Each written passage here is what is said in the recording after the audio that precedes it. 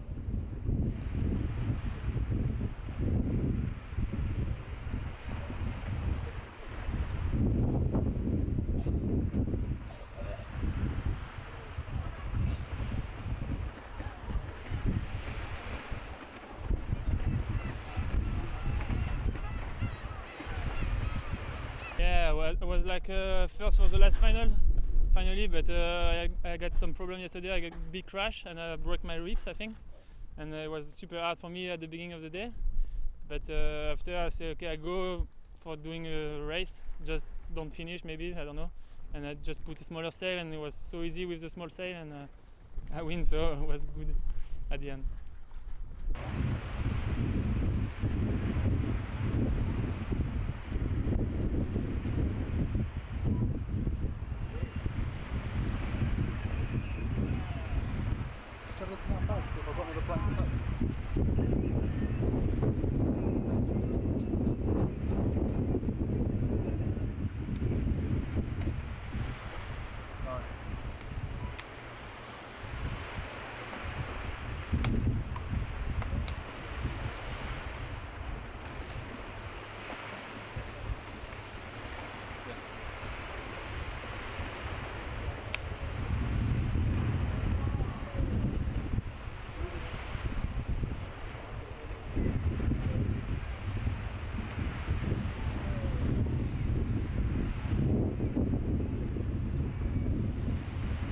West, take out 915.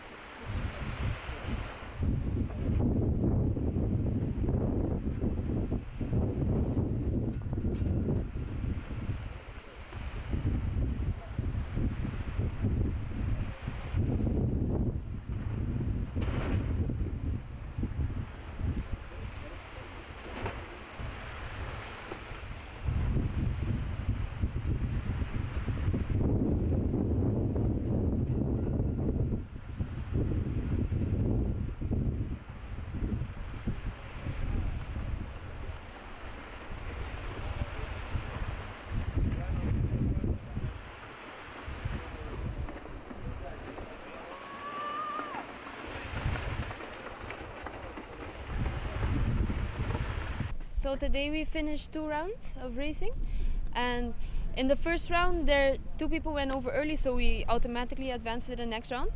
And in the winners final, I was leading. I came to the, I jibed at first, and then I went straight for the the next buoy I saw. Apparently, that was the third buoy, so I completely missed out on that race. I was pretty sad about that for uh, for a little while, but then after we got a second chance to, to do another race, um, again two people went over early, so we advanced automatically. And then in this race, I thought it's not gonna happen again. So I went, I went, like my mindset on on winning that race again. yes, and then I, once again, it was kind of like deja vu because I jibed again as first, and I went for the proper mark, the second one, and then on the third mark, once again, I was going for the wrong one. I don't know why. I thought this can't be happening again. I, apparently, a bunch of people were waving on the beach, telling me to go that way. Finally, I made the right decision. I went for the uh, for the third buoy, made it, made the fourth buoy, and when I when I actually jibed, I thought it was I thought this can't be it. So I kept looking for rope and seaweed and stuff. So when I finally made it, I was really happy.